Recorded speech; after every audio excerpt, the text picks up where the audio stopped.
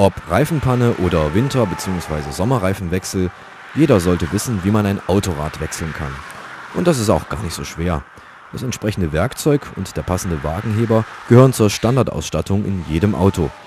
Für den Wechsel von Sommer- auf Winterreifen und umgekehrt können Sie sich die einfache Regel von O bis O merken.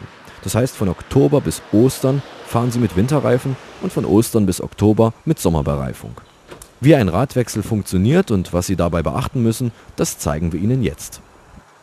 Sichern Sie zuerst Ihr Auto ab, indem Sie den ersten Gang einlegen. Fahren Sie mit einer Automatik, dann stellen Sie den Wählhebel auf P. Ziehen Sie dann die Handbremse an. Die Radkappen können Sie in der Regel einfach mit einem Schraubenzieher entfernen. Lösen Sie die Radbolzen zunächst nur etwa eine halbe Umdrehung.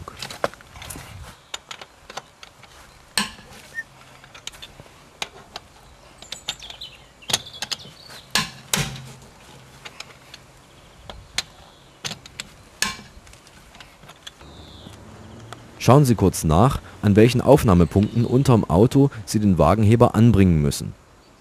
Achten Sie beim Ansetzen des Wagenhebers auf entsprechende Sicherheitshinweise. Das Gerät muss auf einer ebenen und festen Fläche stehen. Vermeiden Sie Kies oder sandige Böden. Sie können sich auch mit einem flachen Brett behelfen. Heben Sie den Wagen so weit an, dass das Rad ein paar Zentimeter in der Luft schwebt. Schrauben Sie die Bolzen ab und entfernen Sie das Rad. Um das Abschrauben zu erleichtern, finden Sie im Bordwerkzeug Ihres Autos in der Regel einen kleinen Steckschlüssel aus Plastik, mit dem Sie die bereits gelockerten Bolzen schnell und leicht herausdrehen können. Ansonsten geht das aber auch mit dem normalen Radschlüssel oder mit der Hand.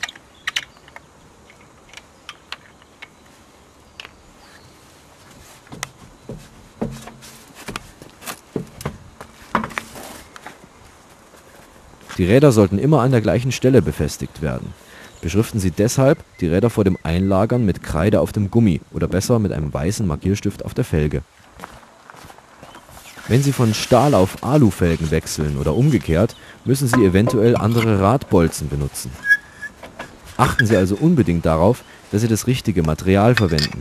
In unserem Fall passen die Bolzen der Original-Alufelgen auch auf die Stahlfelgen der Winterräder.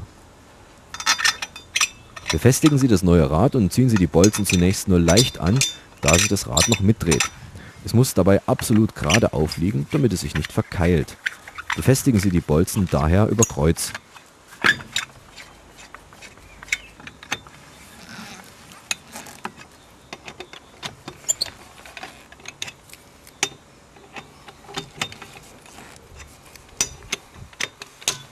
Lassen Sie das Auto herab und ziehen Sie die Bolzen jetzt fest an.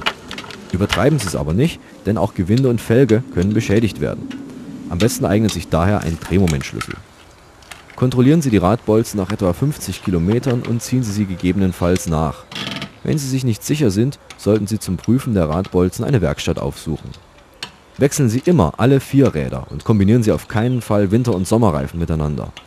Und vergessen Sie nicht an der nächsten Tankstelle den Luftdruck zu prüfen. Winterreifen erfordern manchmal einen anderen Luftdruck als Sommerreifen. Schauen Sie im Handbuch, in der Fahrertür oder am Tankdeckel Ihres Autos nach, dort finden Sie eine entsprechende Tabelle. Die Experten des ADAC empfehlen, die Reifen zu erneuern, wenn die Profiltiefe der Sommerreifen je nach Breite 2 bis 2,5 mm und bei Winterreifen 4 mm beträgt. Bei reifendirekt.de finden Sie eine riesige Reifenauswahl für Ihr Auto. Wir liefern Qualität zu günstigen Preisen direkt zu Ihnen nach Hause oder zu einer Werkstatt in Ihrer Nähe. Außerdem finden Sie auf reifendirekt.de weitere nützliche Infos zum Thema Reifen. Wir wünschen Ihnen eine gute Fahrt.